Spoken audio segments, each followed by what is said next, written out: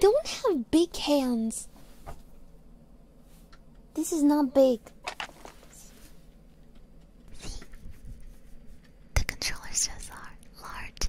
You chumps. Honestly, I had to look at my controller in comparison. You got tiny hands. See? Okay, honestly, like, what probably makes them look longer than they are is my glove and also the fact that I have nails. See?